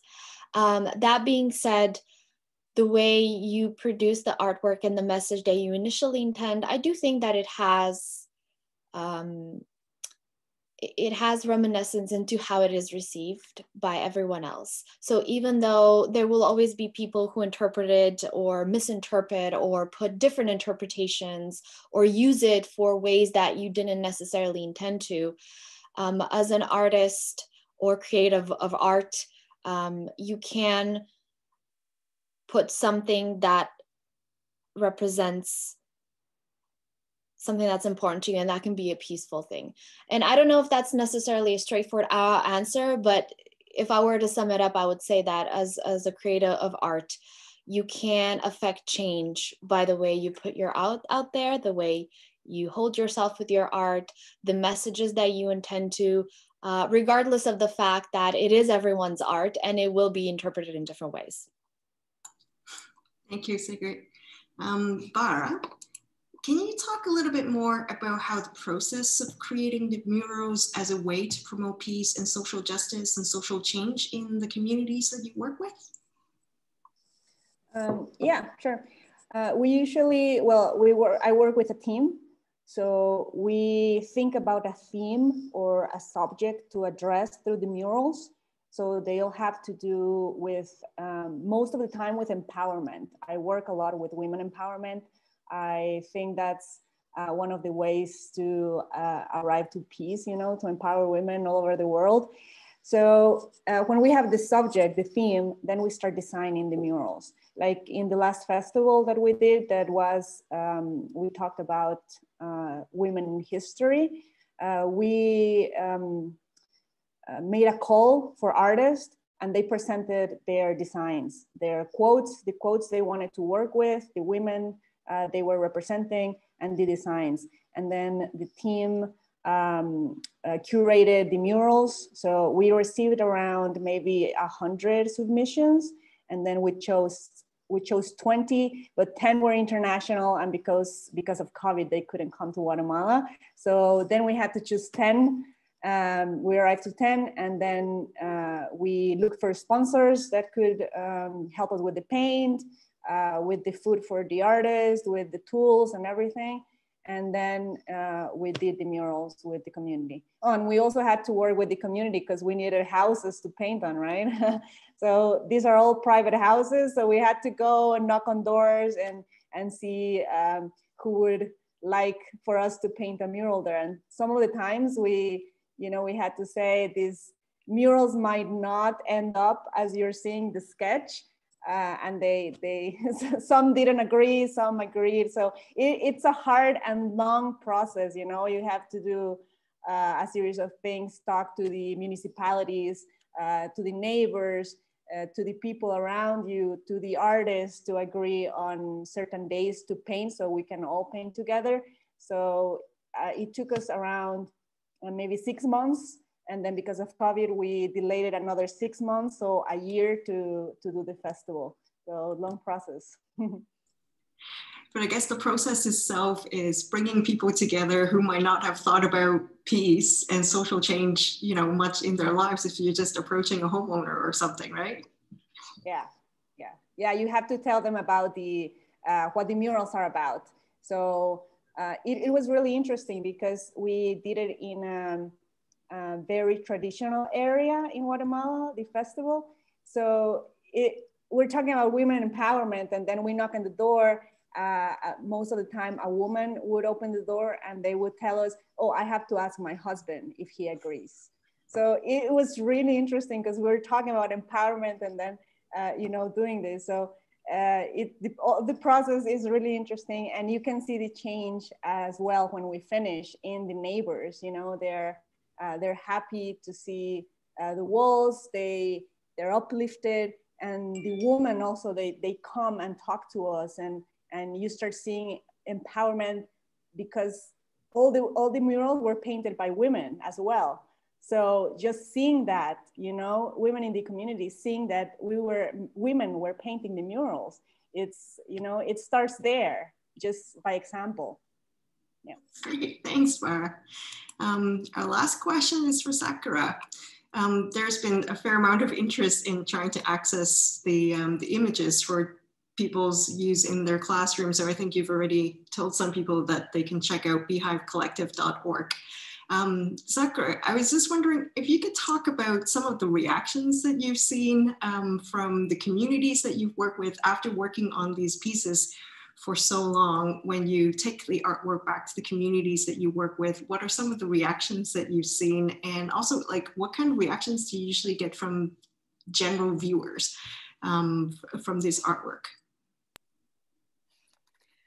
Okay, so um, I used to tease that if you gave me an hour in the Mesoamerica Resiste poster, I could turn anyone into an anti-capitalist.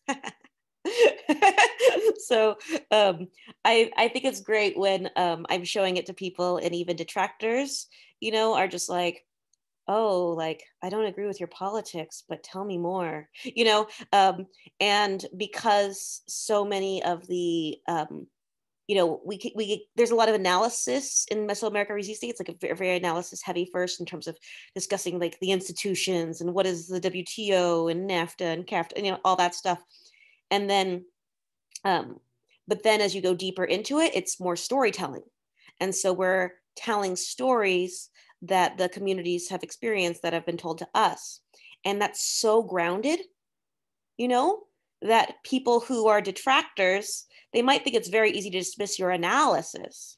But then when they hear actual stories, you know, or when you tell it in a more storytelling format, um, it, it just it's it's a bit more transformative, you know. And um, so I always I always love that that like you know people that start you know and they're just interested in decoding the artwork because they like the art and they think the interpretations are clever, you know, but though they would never call themselves an anti-capitalist, near the end, they're just like, oh my God, you know? Um, and so that's really great. And the fact that it, it, allows us to get into places like art galleries and, you know, it, it, you know, we're not just like doing presentation in various Marxist classes and things like that. Um, in now in terms of bringing it to places, you know, where the images are from, you know definitely you know it's it's it's just beautiful to see people use it as like an education format you know i mean to see it used in classrooms um, i remember i actually spent a few weeks with um, in a zapatista caracol in um, in mexico in chiapas and when i went my first time going into the junta de bien gobierno and seeing our graphic in the office of the junta you know, it was such an honor. I was just like, oh my God. you know, you guys will like, you know, we really like admire like what you've been able to do in terms of establishing autonomy. Um, and you know, and then to see them do that. And we would just, um, we would go uh, for a, few years. Um, we would go and just go to their New Year's celebration. Um, and we would just hand them out. And, you know, everyone loved them, you know, just hand them out like candy. Um, and so, yeah, I even saw somebody that had the um, assembly scene from the Mesoamerica Resiste poster. They had it tattooed on their stomach, the entire scene. I was just like, damn, you get a free poster. um, you know, so definitely people have uh, reacted well to it. I mean, uh, there's a need for training, you know, and there still is, um, so that they can, you know, because they do, they, we do have like a, a big banner down there as well. Um, and, you know, and, and then they use it and they, you know, sell it for fundraisers and, um, you know, it's great to see, it's great to see a tool being used uh, for multiple purposes, education, fundraising, you know, um, as a, as a, as a collective, we're kind of falling apart right now a little bit as a collective. Uh, I have to admit, we've been around for like 20 years and that happens with all volunteer collectives. But, um, you know, we used to tease that we printed our own money uh, because basically as long as you were on the road, you could sell posters and then you could kind of indefinitely be on the road doing this kind of education work and, and seeing communities. And so I've toured, you know, the US multiple times, Canada probably seven or eight times doing presentations, um, you know, every three hours, you know, driving across the entire country. And it just pays for itself, which is great. I guess it speaks to the aesthetics that, you know, just the the intricate details just attract the eyes and then you just that's a great way to draw people into a conversation. Like you said you know if it's just your traditional speech people might not be attracted to participate in it but it's a great way to draw people in. Thank you. Yeah and on a nice day you can throw it up in any park and just get total random total random to come up and talk to you about capitalism you know, before I joined the beehive, you know, I would love to rant at people about capitalism for as long as they would let me, but you know, it's it's actually pretty difficult to find people willing to talk to you about capitalism for a half hour. That's right. But people would just stare at, at, at you know, the artwork for hours and just trying to decipher what's going on, right? So, yeah, that's amazing. Thanks, Akira. Thank you again for all the uh, to all the presenters for just this fantastic morning or afternoon, evening. I don't know where depending on where you are. Um, so I'm going to hand it back to uh, Kathrin and Reva to make some closing remarks. Thank you so much. I want to say thank you in a thousand ways, but I'm going to go back to the poster and to Anna, the Arif's student from Alberta. And on her poster, she said what peace means, cheer people up, feel nice, calm inside, show love to your family, share it to people that doesn't have it, and invite people to play. So thank you for taking the invitation today and being part of this panel, not only to play, but uh, for all you've shared. Thank you.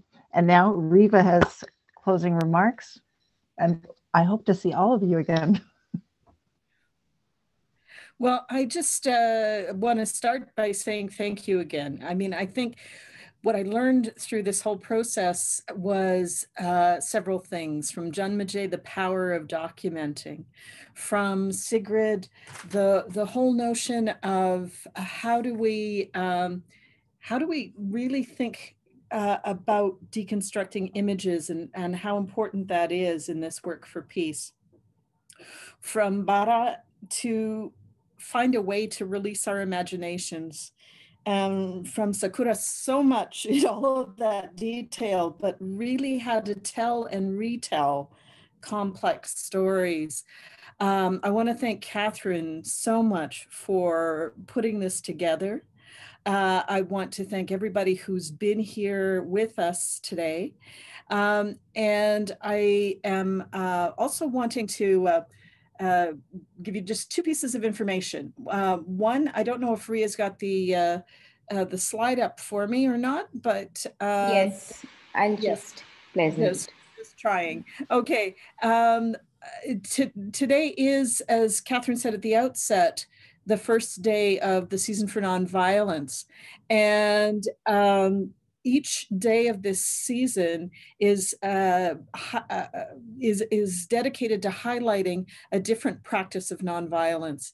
And that question about courage at the outset was from me uh, because I wanted uh, to um, highlight the fact that today is the the practice uh, that is highlighted on the first day of the season for nonviolence is courage. And Ria, if you could go to the second to the second slide, that's the one that I wanted. Um, that I wanted to let everybody know that as the season goes on, each day um, there's a different uh, practice that's highlighted, and and uh, if you uh, look at the website for the Gandhi Foundation, uh, the Mahatma Gandhi Canadian Foundation, and it's there um, that you can get information about what is uh, the the practice that's being highlighted and some ideas for activities that you can take up with with young children, with youth, and with adults. Um, and then the thank you for that, Ria. And the last thing that I want to highlight is that our next session will actually be part two of our uh, webinars on the arts. And uh, our dear Shana Kumar is uh, doing the uh, organizing for that one. And the session is called Radical Movement. And in uh, that session, which will be on March 7th at this same time or close to it, there will be three distinct things that will be uh, part of the session. One is Indigenous theater and colonization. The second is embodied leadership. And the third is dance activism. So I really encourage you to come join us on March 7th. Uh, for that session, and there will be some uh, information going out. And in the meantime, thank you all again so very much for being part of Educating for Justice Through Peace. Thank you. It's been a. Thank you. Bye, everyone. Jai Good- Jagat. Jai Jagat. Bye. you. Bye-bye.